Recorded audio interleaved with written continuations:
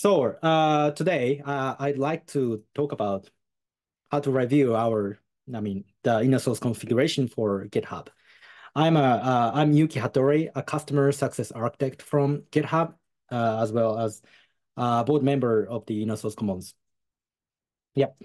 So uh, recently we authored um, uh, this chapter, managing inner source project. I mean, GitHub inner source strategies and GitHub inner source configuration. So I actually co-authored with Justin uh, from Microsoft. Uh, he's uh, serving Microsoft as an OSPO person, and he actually infused so many Microsoft context in this uh, chapter. So I think this is one of the best around the world about GitHub configuration up there. So if you want to know more on this uh, chapter on and book, uh, please go to the uh, managing a source project. If and then you can find uh, the valuable information. Yep. And actually, I am going to talk about uh, the uh, about the description or an introduction of the book. So I'm going to show you a very kind of text heavy slides. So you don't need to read them all today. If you are interested in, please go to the book actually directly. So, and yeah, actually, it's very hard to uh, keep keep both conditions, security and open, transparent. So actually, this uh, book, I mean, this chapter is for uh, those who are interested in uh, configure uh, GitHub uh, for inner source. Um, so yeah, as I said, uh, balancing security and an inner source is very uh, difficult. And then there are a bunch of reasons you cannot do inner source in your company because of the, for instance, transfer pricing or security uh, related matters, uh, etc. So it's kind of important to acknowledge that certain constraints and con uh, consideration may prevent making everything openly and accessible within the company. So and also it uh, it is necessary to uh, carefully consider different levels of code sharing and establish uh, appropriate source code management practices. So sometimes uh, people, uh, when people try to do inner source or adopt inner source, uh, people may think that they need to open everything, but it's not actually. So you need to understand the certain levels of the inner source uh, sharing. And also you need to know about the suitable configuration for um, each levels. Yep. By defining these various levels for of sharing, organization can customize their SCM setup to accommodate the specific needs. So for instance, uh, if you have certain project, for instance, monolithic project, monolithic repository with uh, uh, high confidential uh, information or uh, implementation. Probably you you want to um, hide those information from the even the same company members. But if you want to uh, split uh, uh, this project into several parts, and then probably you can take some parts from the project and then make it open source, inner source. It's become much easier for you to share those items and a source code uh, in your organization. So you need to set up the uh, different levels for uh, each repository. And the opportunity actually uh, to balance both needs comes from observation that there is not much overlap between the repositories that each perspective cares about the most. So yeah, so people don't want to open the very um, secret repository with uh, trade secret, uh, high confidential trade secret. But on the other hand, for instance, if you want to share uh, some code like uh, CI/CD templates or shared library, yeah, of course, it's very uh, easy to share inside the company. And then usually those source code or those uh, projects is not uh, not much, uh, doesn't have any overlap part. So I think um, you need you you can start from the small project to enhance inner source capability inside your uh, company, and then gradually grow your uh, inner source capability as an organization or, or as a company. Yep. And also, uh, when it comes to dependency, it's also uh, uh, there are some diverse um, dependency levels. So this is an example. For instance, lower dependency, you may have, uh, as I said, library or kind of uh, SDK without no uh, without implementation, or if you want to share some code uh, with high dependency, for instance, the API with SLA, and in that case, for instance, the team depends on other teams, and also not only source code, but also you need to uh, provide the service with SLA, and um, it's uh, going to be very difficult to uh, provide um, the inner source, uh, inner source way of sharing. So actually, um, as you your inner source culture or inner source ecosystem inside your company grow, it's very uh, possible to share those code with SLA, I think. But uh, if you are newbie or if you are kind of novice of the inner source, probably it's better to start with lower dependency part and also uh, clearly define each uh, dependency level for the project and then probably you can start prioritizing your project to start inner source. Yep. So those kind of uh, project um, level uh, differentiation also prioritization setting is uh, very important for uh, even for GitHub configuration. Yep. And actually, the participation hurdle can also vary depending on the setting on the IDP side. So this is something uh, uh, sometimes uh, not told, um, but actually IDP configuration, especially for GitHub Enterprise Cloud user, is very important. So GitHub essentially has a very basic uh, user management uh, control, um, I mean, I, I, identity management system. So it's very simple, but if you want to control uh, further, so it, it's sometimes difficult. Uh, you, you may think it's difficult to manage it. So if you use, for instance, Microsoft Entra, uh, used to known as uh, Microsoft Azure Active Directory, or you are using Okta, uh, your capability of inner source or your uh, levels of configuration setting uh, of inner source uh, um, user management is um, very easy. And also, um, you can specify, for instance, from everyone behind uh, you, you you can share your source code for with everyone behind the company firewall, or you can just uh, specify the people uh, like a security group with that requires emailing someone to manually add you. So if you only uh, use GitHub uh, with GitHub uh, identification management, probably you can set up those two, or maybe you can manage uh, your um, uh, level of sharing with team, team functionality. But if you use, for instance, Azure Active Directory, sorry, uh, Microsoft Entra, uh, you can set up the security group and um, you can specify how to get in the space uh, security group uh, as well as how to control and how to make the people left leave from the security group. So um, my uh, recommendation here for especially for enterprise is to set up uh, IDP configuration and also SAML or SCIM uh, integration uh, for GitHub. So um, you can also uh, set this info uh, configuration with different level from enterprise level um, SAML integration, or you can also choose organization level SAML integration. And also uh, there is a certain uh, setting for uh, GitHub as a kind of independent account management system called EMU, Enterprise Managed Account.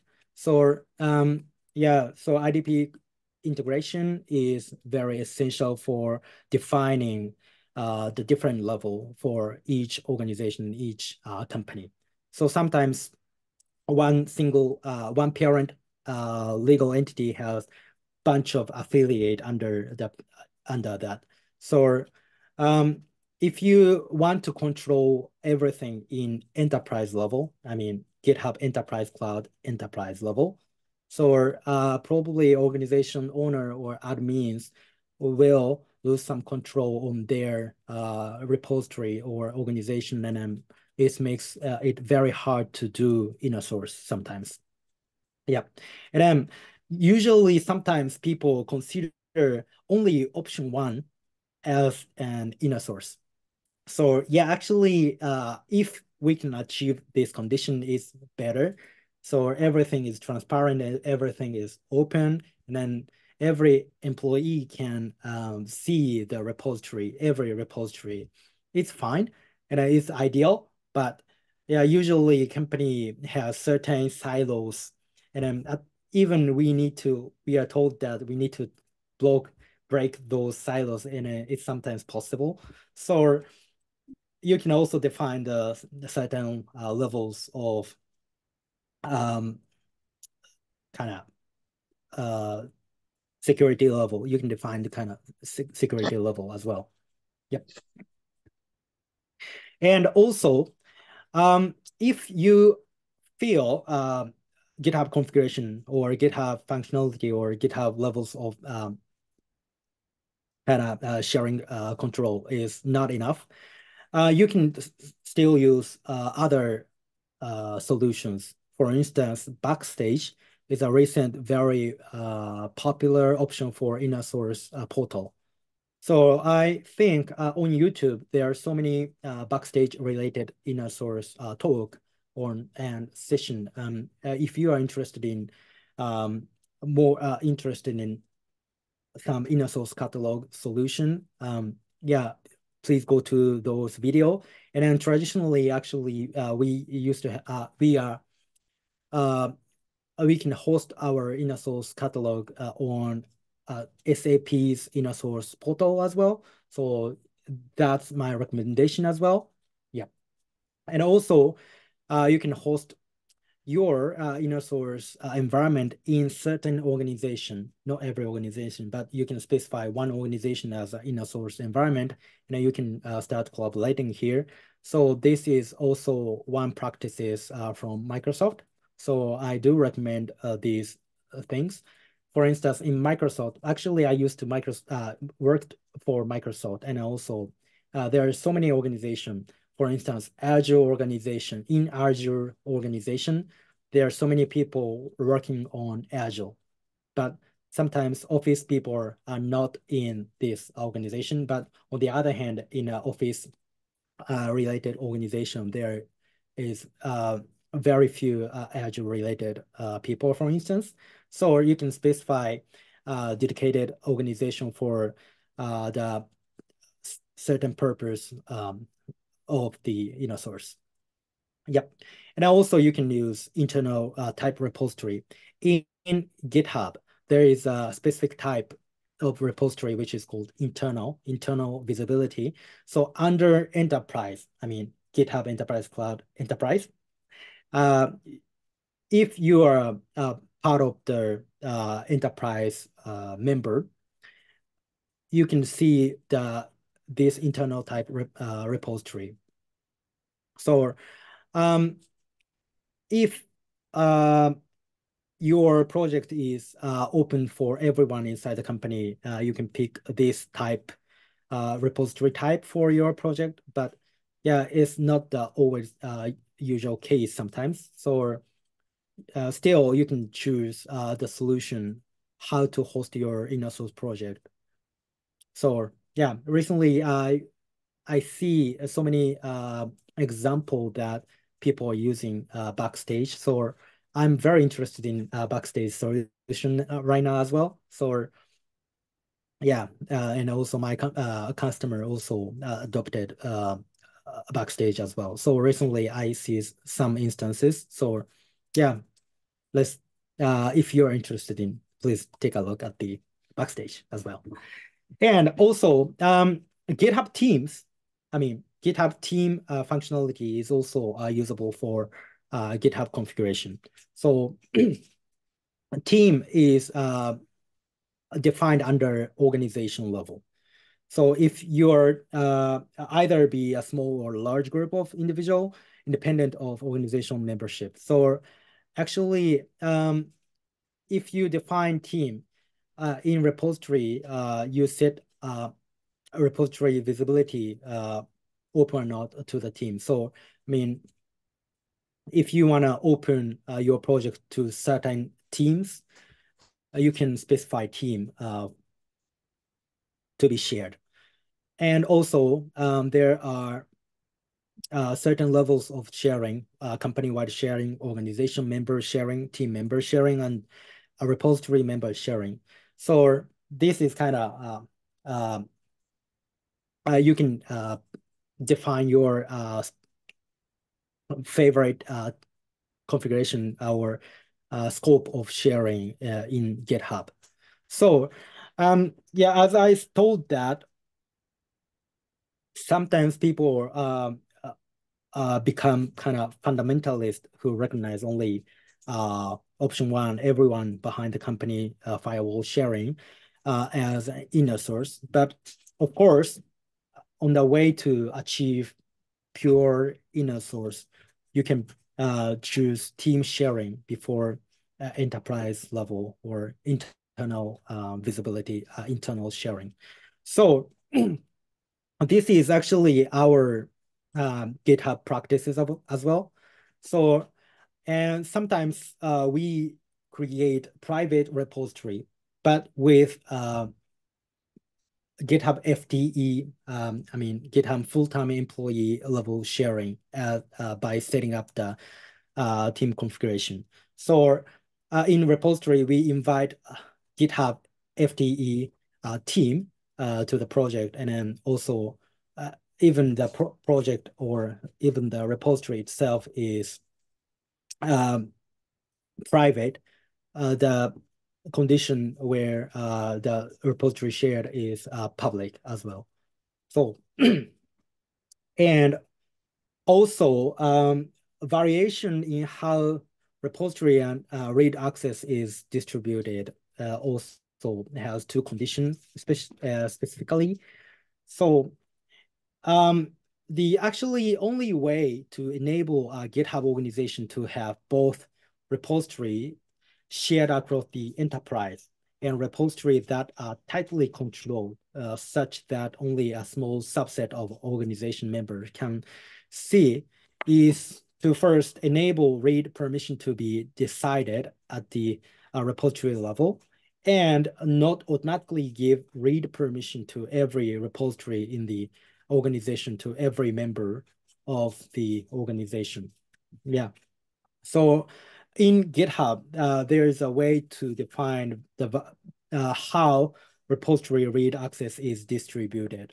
So uh, in uh, GitHub, uh, you can specify, uh, you can set the status like repository itself is public, but only few members have edit um, or write permissions. So this is commonly used uh, practices as well. So if you um, probably care much on the export control or other law or legal related matter is sometimes not the case. But if you are open uh, and also you, the project is shareable, but you want to control the uh, read and write access distribution, um, this is also the option you can take when it comes to sharing your code base. Yep. And in GitHub, um, there is uh, uh, three levels of uh, setting. Uh, first tier is enterprise setting, and the second tier is organization setting, and third tier is uh, repository setting. Yeah, Actually, it's uh, important uh, when it comes to enterprise level. It's important to strike a balance between transparency and uh, collaboration and uh, res uh, respecting con uh, constraints and limitation. So in the beginning of the presentation, I told that some company has one enterprise contract with GitHub. I mean, it means one enterprise management console in for entire company, but they have so many um, subsidiaries or so many uh, other different legal entity as a group. So sometimes people in parent company want to control everything and then set up uh, GitHub's very strict uh, configuration. But I uh, strongly recommend that uh, to set the no policy at the enterprise level and leave it to the organization owner to configure their uh, setting. So yeah, it depends on the case and it depends on the culture or depends on the, of course, industry. And also depends on the uh, what you are treating as a business. So, uh, but actually, if your uh, organization member are uh, getting mature to configure GitHub, um, it's uh, better to uh, leave it as no policy or uh, no policy, yes. So um, in your inner source adoption journey, probably uh, you can, uh, early on, you can control everything uh, from the center, but uh, as your uh, journey uh, or as your um, uh, organization uh, administrator maturity is growth, I recommend that you can in, uh, left uh, you you you you can leave uh, those setting to uh, organization owners. So you you have to include those kind of um, organization owners education in your um, inner source adoption journey. So this is must have um, option for uh, inner source journey, I think. Yep. And yeah, uh, for repository creation, you have, of course, a certain option. And also here as well in enterprise level, um, yeah, it of, of course depends on the company's culture, constraint, and limitation or purpose. But yeah, no policy is sometimes the uh, good option for you. And but at, at the same time, you need to um, make sure that organization level uh, configuration is set properly. So as an enterprise admin, um, I recommend to join certain organization to um, not control, but to observe the setting as well as an um, enterprise owner as well as organization owners. And repository forking, yep, this is efficient for small one-off inner source contributions. However, for larger or team-based projects, many repository may uh, prefer branch-based development. So if you want to contribute uh, to inner source project as well as open source project, you have two options. You are join uh, you you join the project as a member uh, with right permission to contribute the, the um, project. Otherwise, you fork uh, the repository and uh, you edit your uh, contribution in your uh, in in your end, and also finally contribute to the upstream um, repository. So for uh, when it comes to psychological uh, safety, I prefer actually uh, forking. So uh, no one wants to uh, be um, uh, treat as kind of foolish or newbie when it comes to uh, new contribution. But actually, if your um, contribution or if expected contribution is very small, probably uh, you can allow forking and also uh, you should accept uh, uh, the contribution from fork repository. But if you are um, running a wider scale inner source or if you uh, want to achieve team-to-team -team collaboration, I recommend that you will um, invite uh, your team member as well as other uh, guest member in the team and then start contributing uh, in the branch base. basis. Yep. And for organization setting, yeah, there are member privilege setting, and then there are four patterns, wide sharing patterns, moderate sharing patterns. Yeah, this is uh, actually um, entirely open, but only read permission, and opt-in moderate sh sharing and narrow sharing. So there are um, bunch of um, uh, patterns uh, and configuration, but um, there I I'd like to introduce two options enable wide and moderate sharing from a single organization, and option two, enable wide opt-in moderate and narrow sharing from a single organization.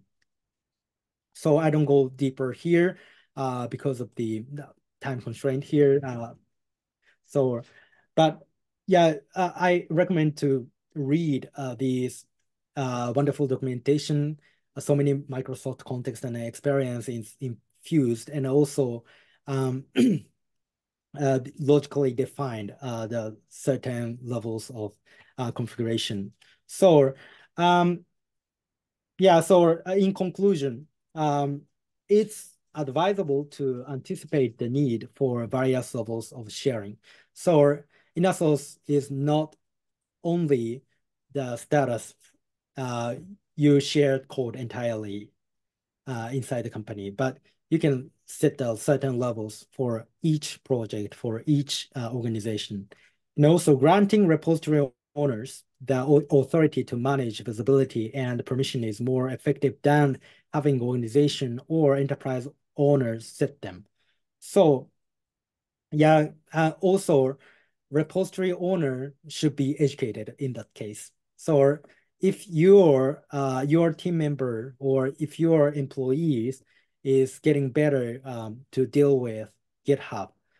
Um, your inner source journey as a whole company also matured.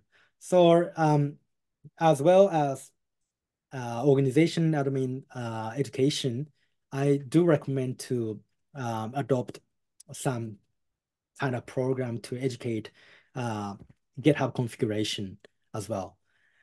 So sometimes people are only interested in GitHub Actions or CI/CD DevOps part when it comes to GitHub. But for inner source, this kind of um, configuration part is also essential. So at least um, people should know um, how to set up the repository properly. And finally, um, yeah, even minor procedural uh, obstruct uh, can pr uh, prematurely terminate this initiative. So establish process that enable repository discovery and evaluation without requiring uh, requiring permission request whenever feasible.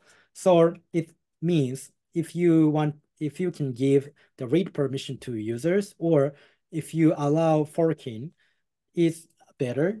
But uh, when it comes to um, yeah, it yeah, it depends on the company and it depends on the uh, source code if it include the trade secrets or not.